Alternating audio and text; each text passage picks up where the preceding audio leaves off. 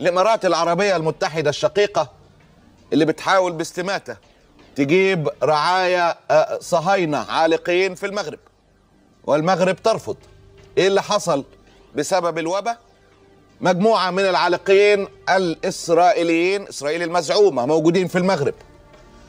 تصريحات آه، دي خرجت من إذاعة جيش الاحتلال منذ قليل.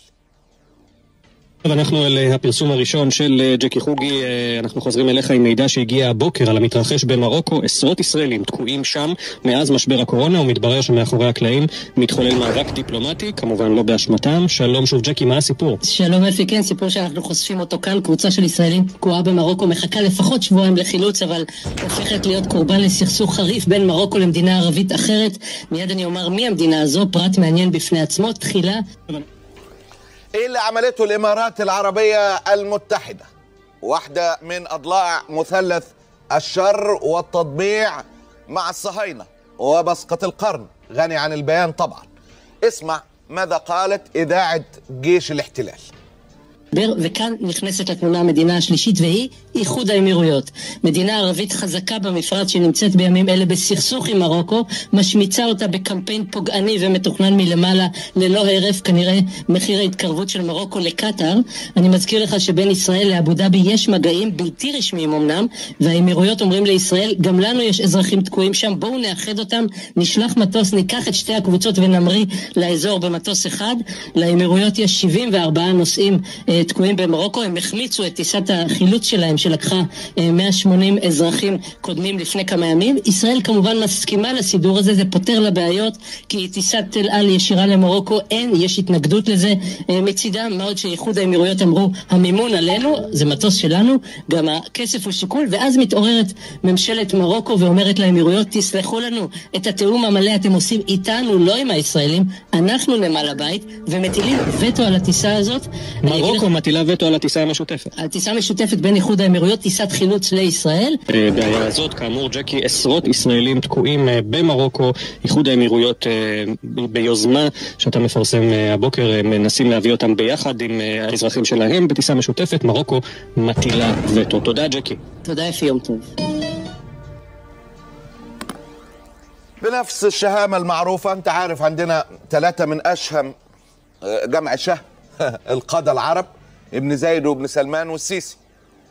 كما فعل السيسي سابقا بقلب كبير يتسع لكل العالم. إلا إلا الشعب المصري إلا الأشقاء المصريين. أيضا الإمارات قالت لحكومه جيش الاحتلال ولا يهمكم. طيارة واحدة إحنا هنجيب نجيب العالقين بتوعكم في طيارتنا. وإسرائيل وافقت نجيب كل اللي طالعين في طيارتنا. وأم المغرب قالت الله الله الله اتفاقيات شغالة وكأن مفيش دولة وكأن مفيش منظومة من غير ما حد ينسق معانا. طب ادونا خبر على أساس إن الأراضي المغربية دي تقريبا تحت سيطرة الحكومة المغربية. تقريبا تقريبا يعني مش أكيد. طبقا لوجهة نظر الإماراتية. تقريبا دي دي أراضي مغربية. لما يجلى منها أي بني آدم يحصل تنسيق إن أي طيارة تطلع أي حد طبيعي إنكم تقولوا لنا. مش الإمارات بتتعامل بشكل آه الإمارات وإسرائيل واحد. أتكلم عن الحكومة طبعا وليس الشعب. الإمارات وإسرائيل واحد بلا أدنى شك. كن على يقين وأنت مطمئن وبطنك كل البطيخ الصيفي والشتوي. لكن مش معنى إنكم أنتم واحد إنكم تتصرفوا من غيرنا. ها؟ ما يصحش. الساعات الماضية بسبب الإمارات العربية المتحدة الشقيقة الموضوع وصل لمشهد غريب. وصل لاتهام الإمارات بمحاولة تشويه رئيس الوزراء المغربي عن طريق لجان إلكترونية بموقع تويتر. انت عارف طبعا في لعب خبيث جدا وحقير جدا بيتم في تويتر وفيسبوك عن طريق الجيوش والذباب الإلكتروني السعودي المصري الإماراتي. المغرب دلوقتي حديث كبير إنه اللجان الالكترونيه عاملة حملة على رئيس الوزراء المغربي بتطعن فيه بكل الاتجاهات. القصة بدأت لما ظهر رئيس الوزراء المغربي في البرلمان وتحدث عن الوباء.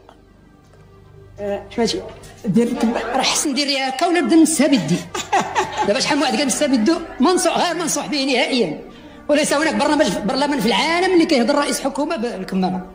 دخلوا لكوريا الشمالية دخلوا اليابان دخلوا فرنسا دخلوا اسبانيا دخلوا الاخرين ما بقاش نديروا المزايدات فيما لا شيء فيه. إيه ولكن إذا كان إذا كانت مسافة الأمان راه كافية. جوج مترو راه درنا ثلاثة مترو دابا أنا والسيد الوزير وعندنا 120 وفاة مع الأسف الشديد.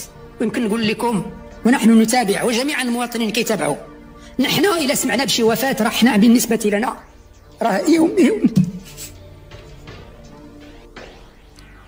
جنازه عندنا جنازه عندنا وإذا سمعنا بمواطن تعافى وخرج من المستشفى إحنا عندنا يوم عيد. بكل صراحة يوم عيد يوميا. نحن في كل يوم نشهد لحظات فرح ونشهد لحظات قرح مع الأسف الشديد وحزن. كيف تطور الموضوع؟ البداية من قناة العبرية. ال- ال- عارفين العبرية السعودية اللي بتبث من الإمارات. عشان الإمارات المغرب آه، آه، قالت بس يا جماعة عرفوني عرفوني إنكم واخدين آه، مواطنين صهاينة.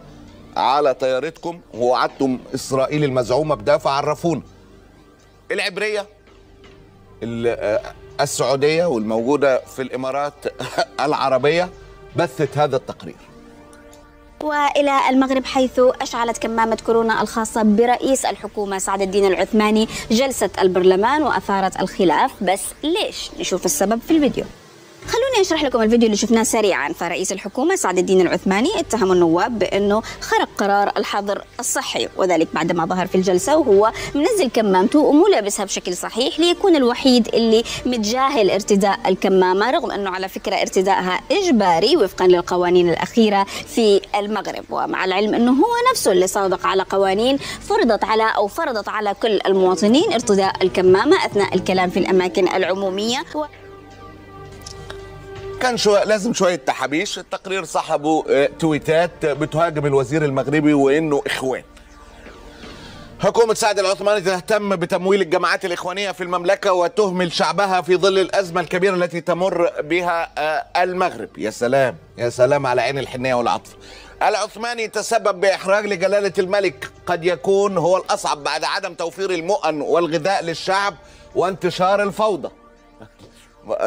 المغرب وصلت إلى مرحلة صعبة من الإهمال الحكومي في الرعاية بل تترسخ كل الاتهامات في دعم الجماعات الاخوانيه إمارات إمارات إمارات.